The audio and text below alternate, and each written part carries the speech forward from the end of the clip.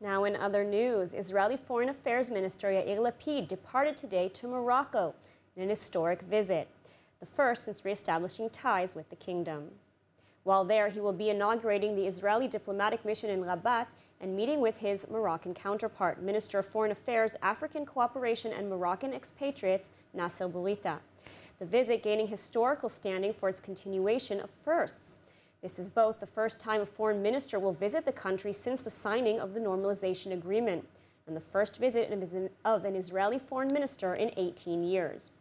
Back in 2003, Israeli Foreign Minister Silvan Shalom making similar attempts to bring about normalization between the two countries.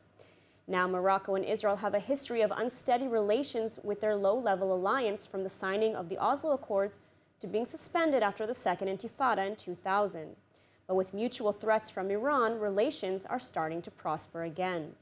And evidently, just last year, the two countries renewing partial diplomatic relations by reopening economic liaison offices in each other's lands. The only missing piece being Rabat's agreement to full normalization. But Lapid, remaining both optimistic and determined about his trip, had this to say, quote, now is the time for political economic activity and we will continue to strive to reach agreements that bring innovation and opportunities to our countries.